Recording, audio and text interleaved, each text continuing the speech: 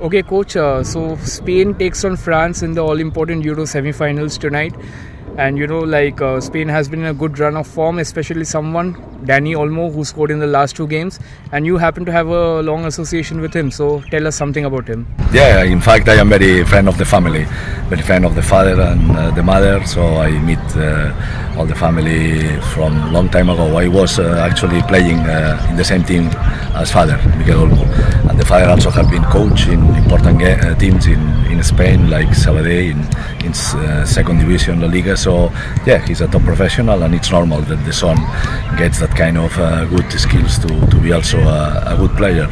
And yeah, they are two brothers, and both of them are playing football. And yes, I think that we're lucky in Spain to have that kind of players. He's uh, a player that takes very good decisions in the pitch.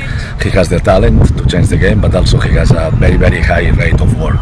Uh, a lot. He sacrifices for the team in the midfield, going up and down. He can be a box to box in the midfield. He can be a winger. He can be a number 10. He can be a false number nine. So a lot of good conditions to make an impact. I think that he's a player that actually at that moment he can be in the first eleven in any team in the world, in any club in the world.